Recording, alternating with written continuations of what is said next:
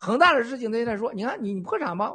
还是我们要叫定向性破产，负责任的破产。然后呢，对国际上展现一个完全不同的中国社会特色主义的破产。那就是说，我想让谁不还就不还，我想还谁就还谁嘛。那你说不还的人恨不恨他？一定恨他。好莱坞、华尔街一定跟他斗，那肯定这结局。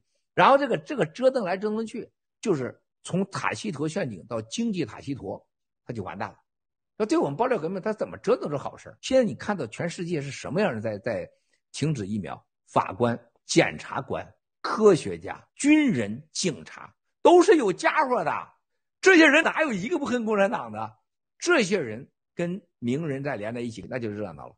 所以说，恒大还有这个融创房地产的崩塌，一定会加速西方的经济的危机的到来，然后造成西方绝大多数的精英领域彻底穷人，他根本不灭共，他跟共产党在哪都不知道，那一定是精英和社会全面一起跟我们联合灭共，而且是咱还得躲一边去，你去灭去，在我旁边过，我看都不看你，去吧，你不灭，有本事你别去，是吧？这就是咱们以美灭共，以钱灭共。